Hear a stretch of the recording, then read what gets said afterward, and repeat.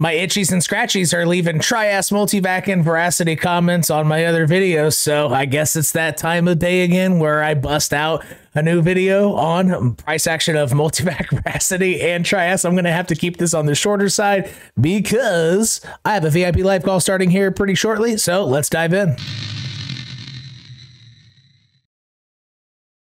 Let's start off with Multivac. And again, these are labeled. So if you do want to skip through, I mean, you can. But then again, I promise you, Verasity fans and Trias fans, getting the practice in watching through Multivac, I promise you, whatever Multivac is, it's happening in price. The same thing will apply in your coins. So you might as well get the practice in. It's just like, you know, going. So imagine this if you're a Trias or Verasity fan, I'm starting with Multivac. Um, it, it is essentially like going to uh, the driving range if you play golf. You practice golf, right? You go to the driving range this is your practice. Or if you, you know, play soccer, this is your soccer practice. I promise you. So, all right, here we go. Let's look at Multivac structurally first. It doesn't look like it's at a big threat here. You got a ton of support here. I don't even think it wicked down to here. I'm actually really surprised it stayed this strong. I actually, I actually can't believe Multivac did not dive into that box. Um, let, let me measure from a percentage basis. Let's say from that wick high. Yeah, that oh, that's why it's 40%. Okay, this wasn't 40% dippable. What did this wick down? Oh, wick down to these uh to these candle bodies. So again, if you haven't watched my video on how to buy dips, even though it's a Kusama uh, Polkadot and Moonriver video you need to you need to click that link it's popping up now it's how to buy dips so go look at it and we'll jump back into this because had you done what I described there, you would have been looking for a move to here, um, because you would have connected these. I mean, this is this three, four candles and a massive wick. So honestly, it just came back and wicked down to this wick. That's all that happened on Multivac. So in the future, trying to buy dips, if you see three candle body or four candle bodies and a massive wick where it turned on a dime. So this wick, honestly, so can you see what I hear? So this wick, since price totally turned on a dime, it was a macro move difference, right? That means this has the power of of like four weekly candle bodies. I'm telling you, candle bodies typically are stronger than any wick, but this type of wick is the strongest of all by a mile. Again, specifically when price turns on turns on a dime the other way in a macro sense, a move that lasts you know half a year or something like that, which this did, I believe, roughly. Eh, almost yeah. So whatever. Um, you know, 35, 40 percent of a year. That that that is the most powerful uh I guess, entity within your decision making of drawing weekly horizontals is a wick like that. It's by far the most powerful. Candle bodies are second most powerful, and then typical candle wicks um, are third most powerful. So you can rank these so you know uh, which lines to bold. So by far, with that idea, now would I have missed this in an analysis before it happened? Possibly. Um, I might not have looked that far back, which is why you zoom out on the weekly. But um, you know, and I'm doing this in retrospect, so it's easy just to look where price dipped down to and say, "Oh, why does it make sense?" But in the future, I did just make a video on how to do this. Right? You align candle bodies on the week with wicks, and that's your most probable points. Right? So but honestly, I might have missed this as the most probable. I probably would have been guessing this. I, I would have guessed this probably. Um, even even if that means a 40% dip, I, I probably would have guessed that's my first most probable. This is my second most probable. So I'm doing this in retrospect. Hindsight, you know, bias is 2020, which means perfect vision if you're seeing it already done, right?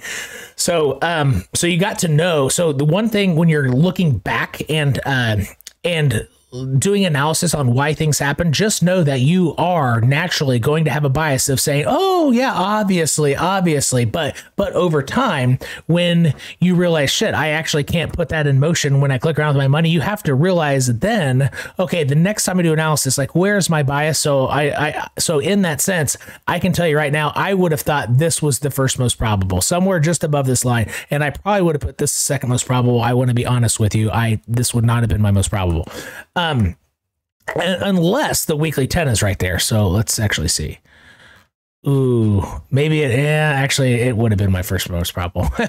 but just eyeballing it, it would not have been. But with the weekly 10 there, so it's a pretty common play. You wick past the weekly 10, hit the horizontal bounce because you have two groups of buyers stepping in. massive horizontal, massive EMA. so between those, that's where buyers step in. So buying somewhere between or at the line, trying to get lucky there, it's that's just so yeah. Had I thrown on the EMAs, I probably would have picked this as my first most probable. And you have an origin line there. Um, see this origin line going like this way.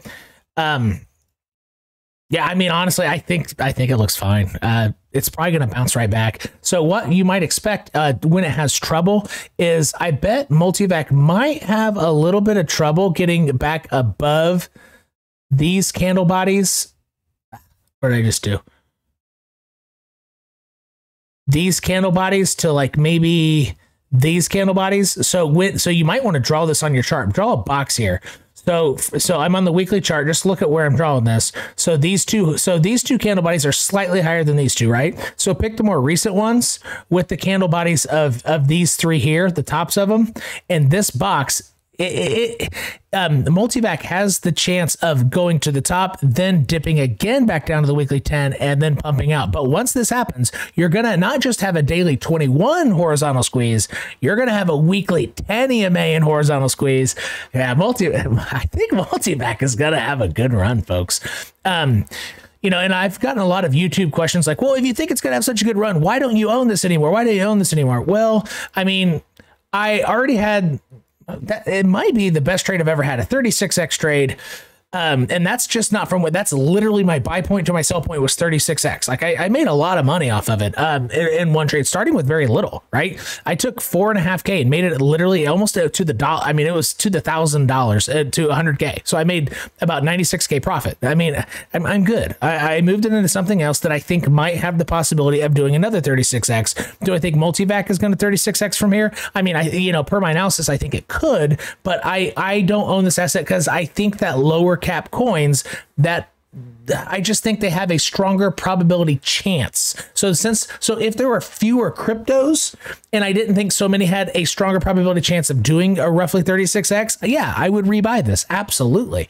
Um absolutely. And honestly, I would have been uh, my goal to buy back was uh was 0.0 um oh so after this after i sold here my i told my whole community i i would have plans to buy back at point um uh, between point 007 and 0055 and that would have been right here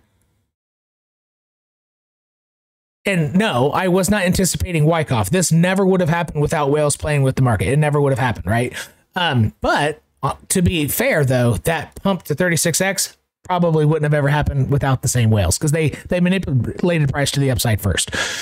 So to be fair, but anyway, I still would have bought back here, and from that, so regardless of being the low or not, like oh Tim, that's so far from the lows. I don't care. I don't care about buying lows. I care about buying to a point where within a reasonable time frame, I'll be way up on my money. I mean, I'd still be up uh, 3.2 times my money from that purchase. You know, would I have waited a long time to make that happen? Yeah, but so is everybody during that time. So, um, but I chose not to buy my buyback point because I went into other uh, coins like. Um, uh, other coins I've reviewed on here. I, I bought Idea uh, fairly heavily. Um, just lower cap coins. Now, if I had to pick a small mid cap coin, yeah, this would probably be my number one pick, even over Verasity, just on a personal basis.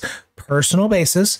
Um, and uh, no, is that a sound assessment? Maybe not. I'm just whatever, I would just pick it, right? If I had to pick a small mid cap coin, I would probably pick Verasity, but I'm more of a small cap person because my portfolio isn't in the millions of dollars. So I can do that, right? In order to get to my millions of dollars. And then after that, then I have to play with mid caps only.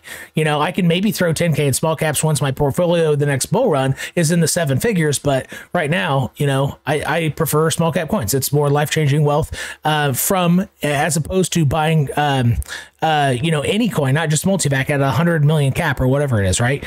Um, so uh, that's just my mindset. My logic is that the correct, most accurate thing way to think. I'm not saying that. You know, I'm just making guesses, honestly. Um, so yeah, I mean multivac, but multivac among small mid cap coins, this is this is gonna do really well, folks. It's gonna do really well. So that's that's my multivac for you. So let's go on to Verasity.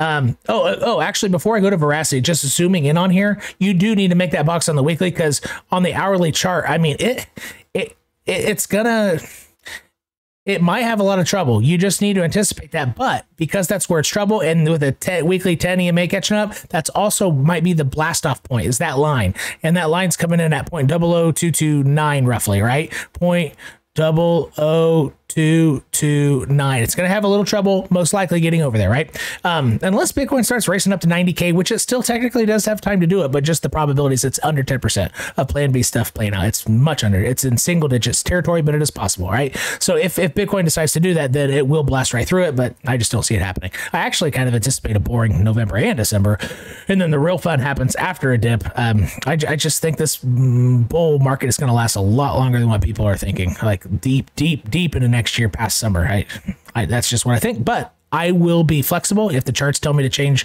That's a so what I'm saying there is a very loose, very loose assessment. All right. So let's jump into uh, verasity next.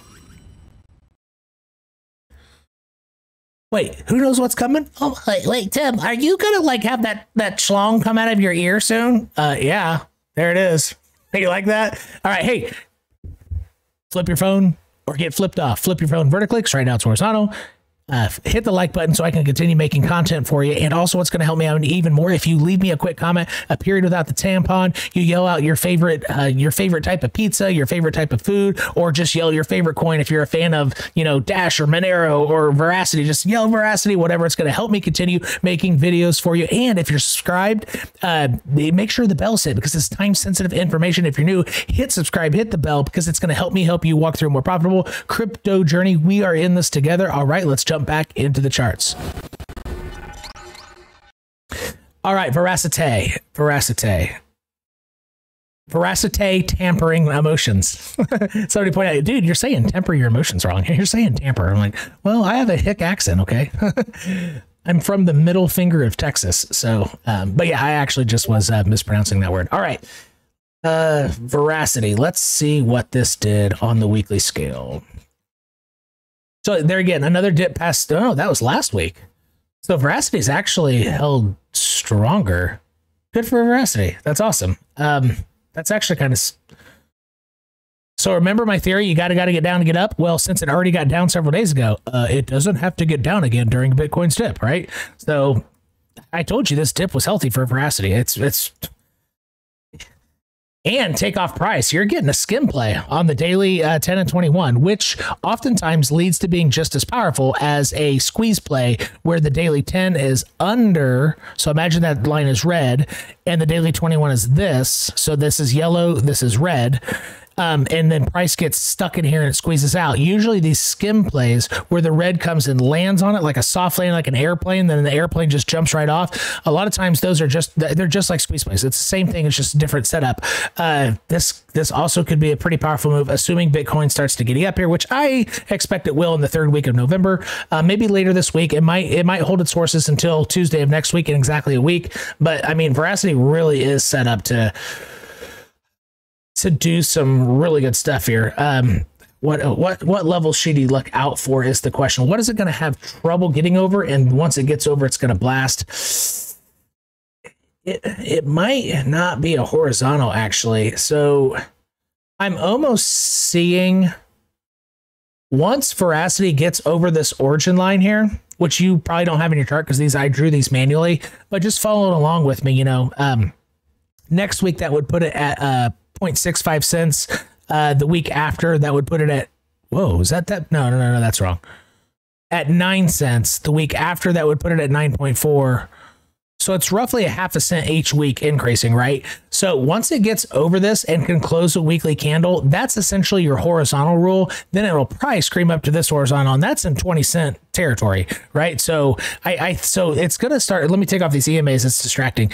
Um, so it might. So on a daily scale, what you might see Verasity do instead of tinkering with any horizontal, I think it's gonna tinker with this origin line, which is exactly what uh, Luna has been doing for a long time, um, and Ethereum actually. Ethereum's been flirting with an origin line too, just hitting an ascending origin line, making all-time high, all-time high, all-time high, like that type of stuff.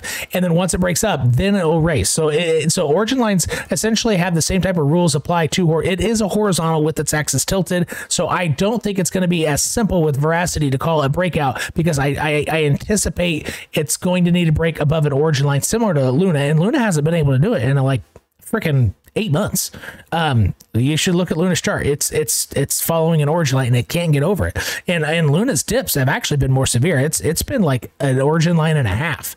Luna's been doing this for quite a while, sometimes going like this.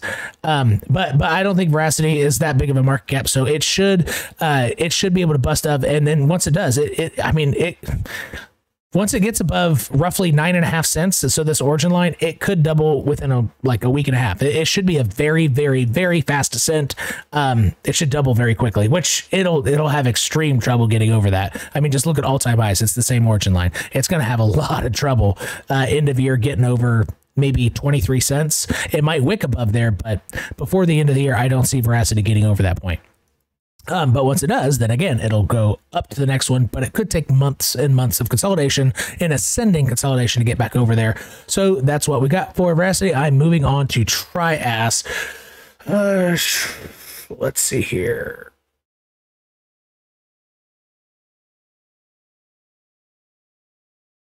So 30% dip.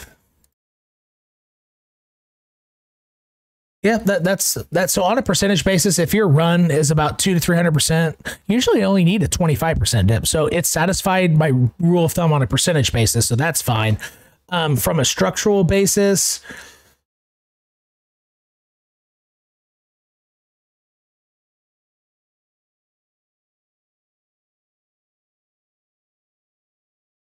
yeah, it's too young of an asset really to use the weekly stuff. So you might have to use like two day candles or something.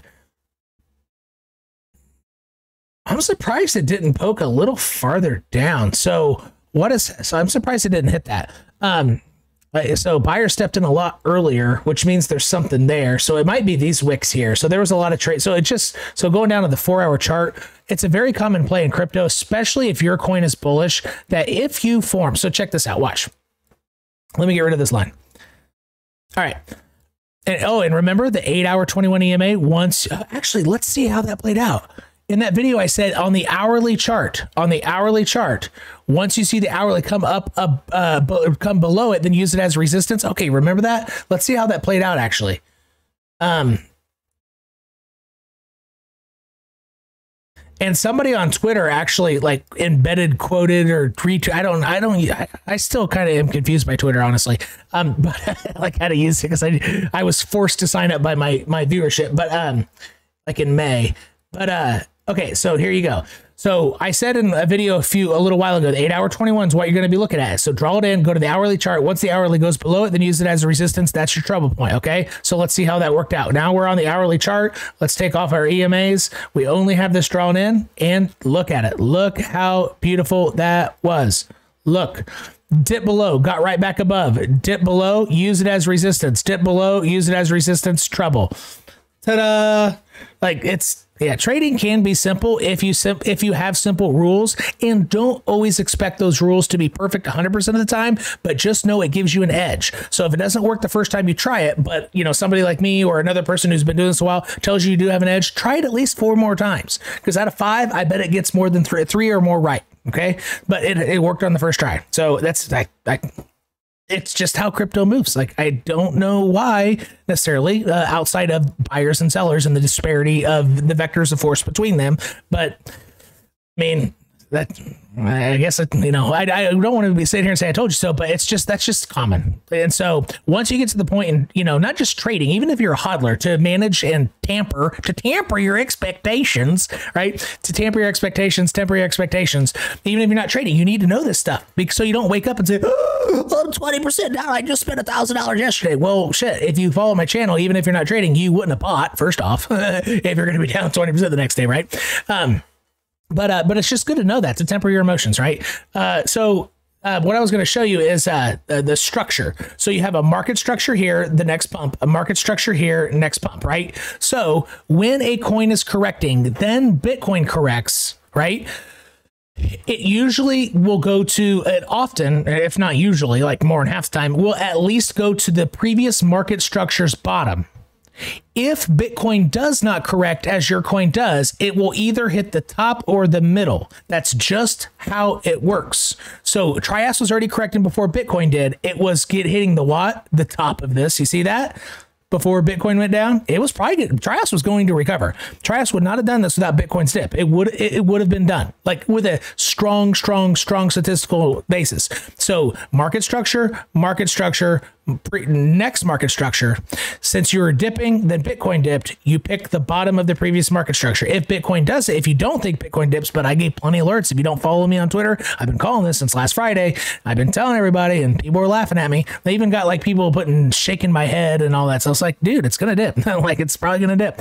Um, anyway, so uh, so without Bitcoin dip, you go for the top or middle of the structure typically and then if Bitcoin dips, also you go for the bottom of the structure. So, but if the bottom of the structure is just above something obvious like the weekly 10 or horizontal, you expect a wick down to that, right? But then for it to slap back up to the market structure. So here, that's exactly what happened. And again, I am doing this hindsight bias, but I'm telling you that is that. Is, here, let me make this a little bigger so you can see what I'm doing here. Um, so that is a pretty easy rule of thumb. It it happens a ton. Is uh is going down to this basis and then it should snap actually right back up to this blue box. So once Bitcoin can get close a daily candle above 65k, I'm I, I, would you could bet your bottom dollar with a strong probability that the day within two days of Bitcoin's closing a daily candle above 65, that Trias will be at 21 and a quarter or above within two days of Bitcoin specifically closing one day closing a daily candle above 65k. I mean, hell, even call it 64.5. Um, Trias will be back at 21.25, but it's probably going to wait till Bitcoin closes a candle above 64 in the 64 to 65k range. Then, in, in two days later, it will be here, and that's a pretty big increase, right? I mean, that's that's 23% increase. That's that's that's that's a great trade. I, a lot of times in my futures account, I only try to hit like a 5x leverage um, you know, for about a about a 3.25% move, right?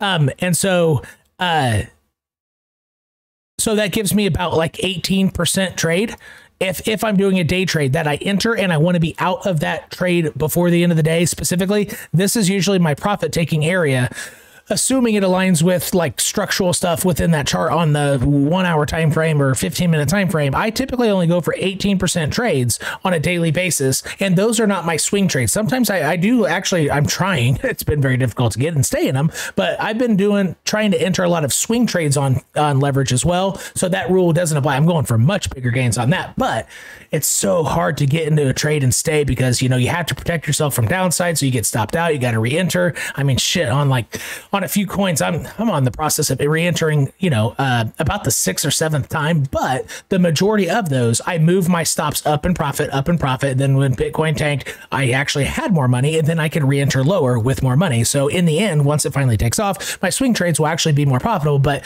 it's it's a different type of trade. They're so much more frustrating. It's almost like uh, what I tell my community when I when I show them good entries and stuff during VIP calls, which I need to jump on here shortly. Um, I, I say that so the advantage of those day trades going for 18%, you're in and out. It's actually much less stressful, but it does take more screen time, eyes on it. But you can do, but you, don't have to do just one trade. You can find multiple altcoins that are, has have a similar setup, right? And you get multiple 18% trades in a day. So technically, you're doing more than 18% on that trade, um, or on on your trading day. But, um,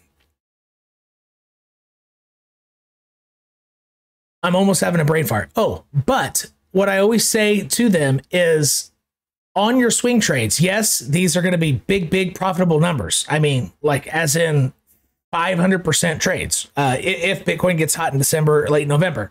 Um, but you need to know that swing trades on futures Okay, so this is your bonus for staying to the end of the video. I, I try to always, I am trying to put a bonus at the end of the videos without tags so people watch to the end, so you're rewarded for it, right? I want to force you to stay till the end. I'm going to handcuff you to the bed and make you watch this iPad, right? All right, anyway. I didn't mean to get kinky. Um, uh, but anyway, and most of my viewers are guys anyway. So anyway, um, but uh, it's it's like it's it's like having a baby in your arms, right? So that sounds cute, but it's actually your baby. It's not somebody else's. So it's more like a lot of work than it is just holding a baby like, okay, all right, the baby's going to have it back, right? No, no, no, no. If you're in a swing trade on futures, that baby's yours and that baby poops, like every hour. It's a newborn and it cries for food every hour, right? And poops and poops while it's eating. so like, you have to be holding a bottle, change your diaper with one hand to get peed on in the face if it's a boy. Like it is a pain in the butt to get into swing trades on futures because you have to baby it until you're super far in profit. The only one that I've been far enough in profit really to, I haven't had to piss with for over a month is Dash because I called it caught it at 177. and I gave an alert out to my community about that as well. Um, I've been far enough in profit where I haven't been wicked out in profit. Um, but uh, but it's a pain. So I wanted to, you know, and so if you like that type of bonus stuff, I mean, this is basic, like this is the basic things that I drill within the community as well. Um, so if if this, you know, that type of content, more in-depth content, the things that can, you know, give you an extra strategy among your altcoin spot trade strategies, but future strategies, if you want that kind of stuff, go ahead and click uh, the link that is near the top of the description section to check out the Patreon Discord community, and then we'll be rolling. And you know, new viewers, if you liked what you saw here in about 10 seconds, there are going to be two videos popping up here. Okay. Those are um those are in my playlist of about four videos now that are the most important videos I've ever made. And if you're new to crypto, you need to watch it because it's going to drastically change your basic understanding of how price moves, and you're going to make so much more money in crypto. I'm telling you, you should click on those now and go watch those. But before you do, flip your phone vertically, flip your phone to get flipped off, and make sure that bell is hit. Make sure you've subscribed. Y'all just got timified. Are you happy, itchies and scratchies? There you go. There's your video.